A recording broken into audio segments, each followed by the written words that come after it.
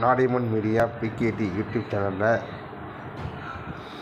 உண்மை சம்பவங்கள் தெரிந்த ஊர்கள் தெரியாத பல செய்திகள் தெரிந்த செய்திகள் தெரியாத பல ஊர்கள் மறைக்கப்பட்ட தமிழர்களுடைய வாழ்க்கை வரலாறுகள் மற்றும் உண்மை சம்பவங்கள் இதை அடிப்படையாக வச்சு வீடியோக்களும் குரல் பதிவு போட்டுக்கிட்டுருக்கோம் இப்போ சமீபத்தில் ஒரு தனியார் ஊடகம் வந்து ஒரு ஒரு அசோசியேஷன் ஆமாங்க. அந்த அசோசியேஷன் பேர் என்னென்னா ஆல் ஸ்டூடெண்ட் வெல்ஃபேர் அசோசியேஷன் ஆமாங்க. அதாவது அனைத்து மாணவர்கள் கண் கட்டமைப்புக்கான உதவி நலநிதி நலநிதி அதாவது ந நலம் நல வாரியம் அதாவது அனைத்து மாணவர்கள் நல வாரிய கட்டமைப்புலேருந்து தலைவர் பொருளாளர் இருக்கக்கூடிய மதீன் அகமதோட இன்டர்வியூ பார்த்தேன். அந்த இன்டர்வியூவில் அவர் என்ன சொல்லியிருக்காருன்னா அதாவது அரசு மேலே சில படிகளை போடுறாரு. ஓகேவா? அதுதான் ஃபஸ்ட்டு வைக்கக்கூடிய ஒரே ஒரு கோரிக்கை. ஃபஸ்ட்டு அவர் வந்து என்ன சொல்கிறாருன்னா மாணவர்களுக்கு பரீட்சை நடத்தணுமா நடத்தக்கூடாதா அதை வந்து தெளிவுபடுத்த மாட்டாரு ஃபஸ்ட்டு அது. அதுக்கு அடுத்ததாக பார்த்தீங்கன்னா இது எல்லாத்தையுமே வந்து அரசாங்கத்தை குலசாரத்தை இடத்துல இருக்கீங்க ஏங்க? எங்கேயோ ஒரு இடத்த தப்பு நடக்குதுன்னா அந்த இடத்த ப சரி பண்ணணும். சொல்லா கல்வித்துறை சொல்லாததான் நீங்கள் எதுக்கு சொல்கிறீங்கன்னு சொல்லிட்டு மக் ஊடகத்தில் மக்கள் முன்னாடி கொண்டு வைக்கிறீங்கன்னு தெரியல ஃபஸ்ட்டு கேள்வி. மக்கள்கிட்ட இது வந்து ஏன்னா நீங்கள் வந்து மாணவர் சைடில் நீங்கள் பேசணும்னு சொல்லிட்டு மாணவர்கிட்ட சில சமயம் ஏன்னா மாணவர் இப்போ என்ன கடந்த மூன்று மூணு மூன்று வருடம் அவங்க வந்து ஆன்லைன் டெஸ்ட் எழுதி எழுதி பார்க்கப்பட்டு பரீட்சையே எழுதாமல் அவங்களோட வாழ்க்கையை கேள்விக்குறியாக போயிட்டு இருக்கு அதை ஃபஸ்ட்டு தெரிஞ்சுக்கிட்டு பேசணும். ஏன்னா டென்த்துக்கும் ஆல் பாஸ் போட்டாங்க இந்தியன் மார்க்கு ப்ளஸ் ஒனுக்கு ஆல் பாஸ் போட்டாங்க நெல் மார்க்கு ப்ளஸ் டூக்கு ஒரு சில இதில் வந்து போட்டாங்க அவங்களுக்கு ரெண்டு வருடம் ரெண்டாயிரத்தி இருபது ரெண்டாயிரத்தி இருபத்தி ஒன்று கடந்த ரெண்டு இடங்களாக அவங்களுக்கு எந்த விதமான டென்த்து போகவே இல்லை.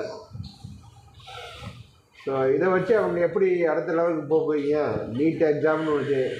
ஏன் இந்த இந்த ஆர்வத்தை மத்தியில் இருக்காங்கடா CBSE central board of secondary education அந்த நட்டத்தை சொல்ல வேண்டியதுன்னு அவங்க கொடுக்குறாங்க அவங்களோட போர்ஷன்ஸும் தமிழ்நாடு அரசு வந்து நீட் எக்ஸாமுக்காண்டி சில வணிகம் பண்ணி சிபிஎஸ்சி பாடத்திட்டத்தை கொண்டு வந்து வைக்கிறாங்க.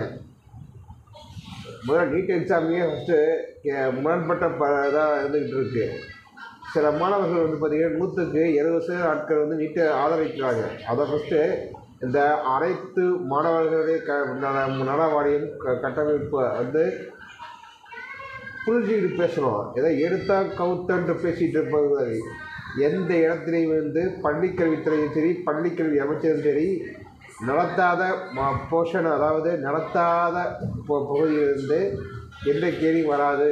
ஒன்று மற்றும் இரண்டு தேர்வுகள் மட்டுமே அதற்குரிய படைத்தக்கூடிய மாணவர்கள் திட்டம் மட்டும்தான் கேட்கப்படும் சொல்லி அரசாணையை சுட்டிருக்காரு. எங்கேயோ ஒரு தப்பு நடந்துச்சுன்னா தப்பை கண்டுபிடிச்சி போடணும். அதுக்காண்டி ஒட்டுமொத்த மாணவ சமுதாயம் தப்பு பண்ணுறாங்க ஒட்டுமொத்த பள்ளிக்கல்வி தப்பு பண்ணுறாங்கன்னு சொல்லிட்டு கூடாதுங்க ஏன்னா கடந்த மூன்று வருடங்கள் ரெண்டு வருடங்களாக பேண்டமிக் தொற்று வியாதி காலங்கள் கொரோனா தொற்று வியாதி காலங்களில் ஓடிப்படுது உங்கள் மாணவர்களை வந்து சில அரசாங்க பணிகளும் சரி சில தனியார் பணிகளும் வந்து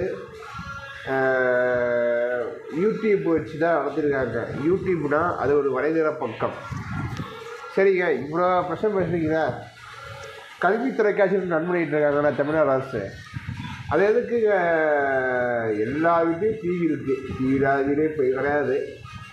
ஏதாவது பத் ஒன்று ரெண்டு அதாவது இருபத்துக்கு மூணு சதவீதத்தை நாலு சதவீதம் வீட்டுக்கு மட்டும்தான் பாக்கி தொண்ணூற்றி நாலு சதவீத பார்க்குற வீட்டில் டிவி இருக்குது அதில் கல்வி தொலைக்காட்சின்னு ஒரு ஒரு பிரிவு இருக்குது அந்த கல்வி தொலைக்காட்சி காலை ஆறு மணி முதல் இதே பத்து மணி வரைக்கும் பாடத்திட்டங்களை வந்து கொடுத்துக்கிட்டே இருக்காங்க. அதெல்லாம் மாணவர் பார்க்காம நீங்கள் வந்து சீரியலை நொட்டிட்டு வந்தீங்க. ஞாபகம் இருக்கா சீரியல் தான் முக்கியம்னு சொல்லிட்டு பொம்பளைங்களெல்லாம் கண்டிப்பாக தான் அதுதானுங்க அதோட விளைவு தான் இன்னும் நின்றுட்டுருக்கு கல்வி தொலைக்காட்சி ஒன்று அரசாங்கம் நடத்தும் போது எதுக்கு நீங்கள் யூடியூப் வச்சுட்டு சொல்லிட்டு யூடியூப் விடுறாங்க. தொலைக்காட்சியை பார்க்கக்கூடாத மக்கள் தான் யூடியூப்பை வந்து ப்ரொமோட் பண்ணி அது ஒரு சில மாணவர்கள் பண்ண தப்புனால தான் அந்த பள்ளி நிர்வாகம் எடுத்து பண்ணிகிட்டு இருக்குது அதுக்கான திட்டங்கள் வந்து அதுக்கான அறிக்கை வந்து அரசாங்கத்தில் இருக்கு. எந்த த தப்பு பண்ணினா அது சரி இவ்வளோ பற்றி பேசுகிறீங்களா இப்போ சமீபத்தில் வந்து அரசாணையை விட்டது. எந்த பண்டிகையும் வந்து சிறப்பு தேர்வு நடத்தக்கூடாது. அது தமிழோட மன்னர் வந்து புனிதவெளி புனிதவெளி மன்னர் சிறப்பு தேர்வு இருந்தாங்க அப்போ எல்லாம் பொத்திட்டு வந்திருந்தீங்க? இந்த மாணவர் கட்டமைப்பு எங்கே போயிருந்தீங்க? கொடுக்க போயிருந்தீங்களா? இல்லை படைக்க போயிருந்தீங்களா? இந்த பொதுவெளியில் கேட்கக்கூடாத வார்த்தை தான் இது. சில அரசாங்க பள்ளிகளும் சரி சில தனியார் பள்ளிகளும் சரி சிறப்பு தேர்வு சிறப்பு க வகுப்புன்னு சொல்லி வச்சாங்க.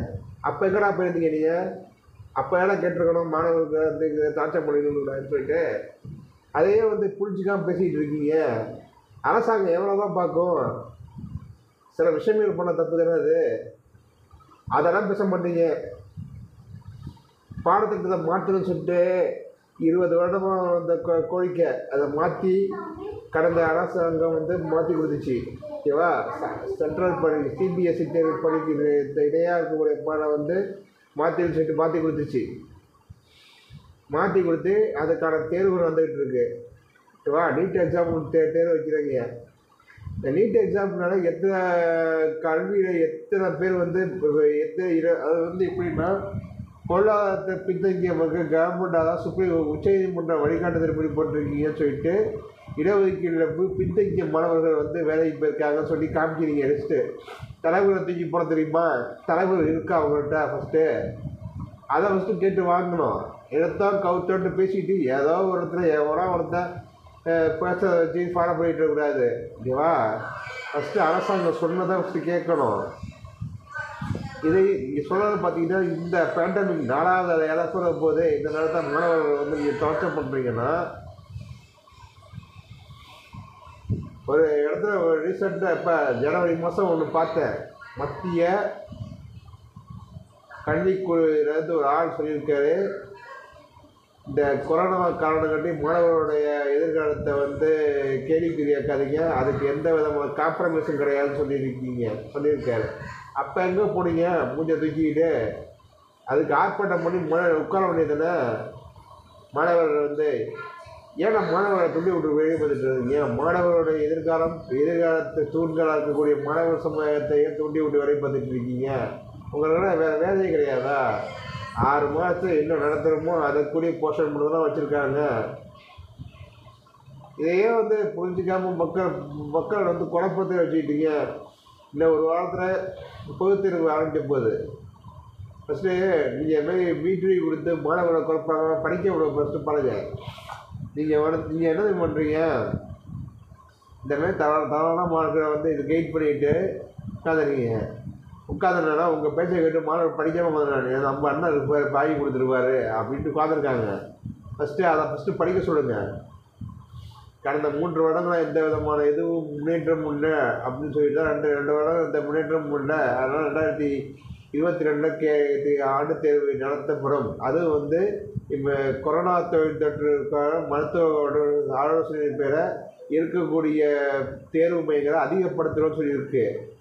ஆ நான் கொரோனா வந்து அதிகமாக இருந்து நம் மாணவரை டார்ச்சர் பண்ணக்கூடாதுன்னு சொல்லிட்டு தான் அரசாங்கம் ஊசி தடுப்பூசி போட்டிருக்கு. தடுப்பூசி போட்டு சில ஆட்கள் வந்து போட முடியான்ட்டு உட்காந்துருக்க ஆட்கள் வந்து உட்காந்துருக்காங்க அதை ஃபஸ்ட்டு கலையணும் ஓகேவா அதை அதை ரன் ஒட்டிட்டு உட்காந்துருக்கீங்க இப்போ உங்கள்கிட்ட யார் கருத்து கணிப்பு கேட்டது?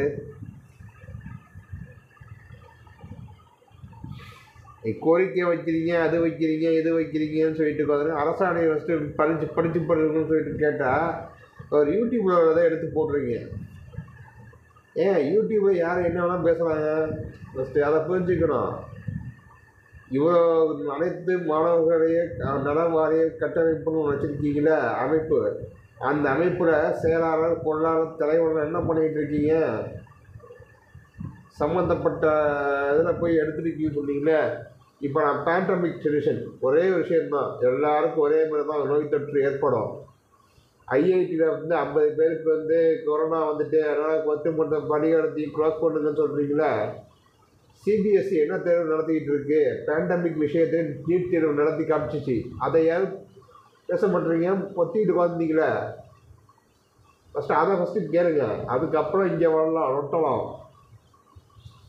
இன்னொரு இடத்துலேருந்து ஒரு குரல் ஒன்று வந்துச்சு. நான் பேரெல்லாம் சொல்ல விரும்பலை. மும்முனை கொள்கையை வந்து திரிக்கிற இடத்துல நாங்கள் இருக்க மாட்டோம்னு சொன்னதுக்கு அப்புறமா ஒரு ஆள் வந்து மக்களை வந்து திசை திருப்பாதீங்க. மாணவரோட எதிர்காலத்தை கேள்விக்குறியாக்காதீங்க. மும்மொழி கொள்கையை கடைப்பிடிச்சா என்ன தவறுன்னு கேட்டக்கூடிய ஆட்கள்லாம் இருக்காங்க.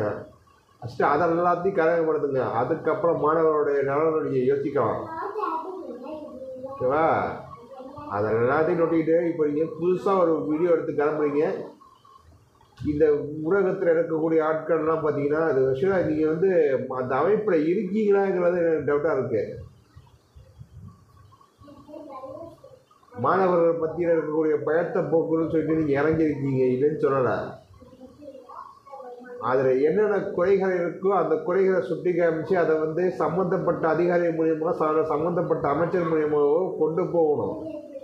அதை விட்டுட்டு ஒட்டுமொத்தமான ப வழிகாட்டுதல் மூலியமாக தப்பு ஒட்டுமொத்தமான பள்ளிக்கல்வித்துறையும் தப்பு கல்வித்துறையில் எத்தனை பேர் ராப்பகல தூக்கத்தை விட்டுட்டு வேலை பார்க்கக்கூடிய ஆட்கள்லாம் இருக்காங்க. கல்வித்துறை மட்டும் இல்லை அனைத்து துறையிலையும் தான் உண்டு தான் வேலை உண்டு. தன்னுடைய வேலைகள் எதுவும் பெண்டிங் நிறுவ இல்லாமல் வேலை கூடிய பார்க்கக்கூடிய ஆட்களும் சரி இப்போ அது வந்து க பொன் பொண்டாட்டியோட சரி இப்போ மனைவியோட க இது சுக துக்கங்கள் அதை பயன்படுத்தாமையோ இல்லை மாண ப- தங்களுடைய குழந்தைகளுடைய அதை ம மகனோ இல்லை மகனுடைய திருமணத்துக்கு போக ப- வெளி விருப்பமுடையோ இல்லை தாய் தண்டருடைய கடைசி காலங்களில் அவருடைய பார்த்துக்காம பா அவருடைய இருந்து பார்த்துக்கிற இடத்துல பார்க்காமையோ அவருடைய இறப்புக்கதை பார்க்காம இருக்கிற இடத்துலையும் இருக்கீங்க. இருந்து வேலை பார்க்கக்கூடிய ஆட்கள்லாம் இருக்காங்க. நீங்கள் சொல்ல பார்த்தா ஒட்டு மொத்தமாக தவறுன்னு சொல்ல இருக்கீங்க. ஃபஸ்ட்டு அதை ஃபஸ்ட்டு தெரிஞ்சு மாணவர்கிட்ட தெளிவுபடுத்தி பேசணும். எதை எடுத்தேன் கவுத்தன்னு பேசிகிட்டு இருக்கக்கூடாது ஃபஸ்ட்டு உங்களுக்குள்ளேயே உரிமித்த கருத்து இல்லை. அதை தான் என்னால் சொல்ல முடியும். இன்னாராட்டி நீங்கள் வந்து அது நட்டால் இது குட்டன்ட்டு வந்தீங்கன்னா மாணவர்கள் மட்டும் இல்லை கொந்தளிப்பு ஏற்படும் மக்கள்கிட்ட. மக்களை தேவையில்லாமல் குழப்பம். ஏன்னா இந்த அமைப்பு இருக்காங்க. அவங்க பார்த்துப்பாங்கன்னு சொல்லிட்டு மாணவர் அலட்சியமாக இருப்பாங்க. ஸோ மாணவரோட எதிர்காலத்தில் நீங்கள் விளையாடுற மாரி இருக்குது அவ்வளோதான் என்னால் பேச முடியும். ஏன்னா அரசாங்கத்தை எய்த்து யார் என்ன பண்ண அரசாங்கத்தை யாரால் எந்த ஒரு தனியமைப்புறாலையும் எடுத்து பண்ண முடியாது. நீங்கள் வேணால் தள்ளி போடலாம். அரசாங்கத்தில் போய் த நடத்தாமல் த விஷயத்தை வந்து இந்த நிலுவையை வந்து தலை கேட்க ஆணை பிறப்பிக்க வாங்கலாம். தலையாணை வாங்கலாம். ஆனால் அரசாங்கத்தை முடக்கிறது தனியார முடியாது தனி ஒரு அமைப்பாலே முடியாது. அது ஃபஸ்ட்டு புரிஞ்சுக்கிட்டு பேசணும். இவ்வளோ பிரச்சனை வெடிச்சிச்சு அப்போலாம் இருந்து பேசாமல் இருந்துட்டு இந்த நேரத்தை ஏன் பிடித்து குடிங்கன்னு தெரியல. ஃபஸ்ட்டு மாணவர்களை வந்து படிக்க விடுங்க அதுக்கப்புறம் நீங்கள் பேசுகிறத பேசலாம்.